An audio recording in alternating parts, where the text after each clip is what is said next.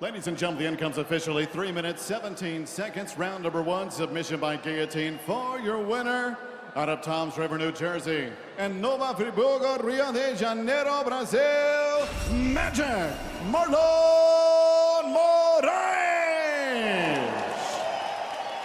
Ladies and gentlemen, I'm here with your winner, the outstanding Marlon Moraes. You just keep getting better and better. Yeah, man. You, you wanted the microphone, go ahead. Man, first of all, I want to tell you guys, man, you almost lost the main event. I had diarrhea all week, bad. I catch the, the mosquito here and mess up with... Galera, falar em português aí com vocês, desculpa. É, essa semana aí foi uma semana muito difícil pra mim.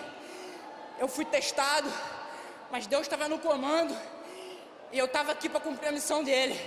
Há oito anos atrás, eu saí de Friburgo na tragédia, parecida com essa que teve em Brumadinho. E, pô, queria deixar meus pêsames aí para todo o pessoal e falar pra galera de Nova Friburgo: eu amo vocês e eu vou pegar esse cinturão! You guys, you know, it was a very tough week for me. I was really tested, and it was really God that made me come here tonight. A few years ago, I had to leave my hometown because of a tragedy similar to what happened last week here in Brazil, in Minas Gerais. So my heart goes out to all those people. Marlon, you continue to get better and better. That's three first round victories. I feel like I know the answer, but what do you want next?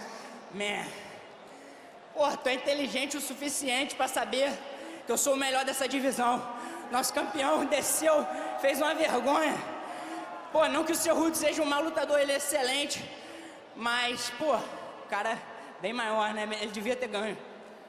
You're smart enough to know that I'm the best in the division, and you know who I deserve. You know, our champion went down a weight class, but, you know, I'm ready.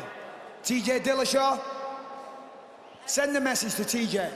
Hey, TJ, I don't know if you deserve to fight with me after your last performance, my friend.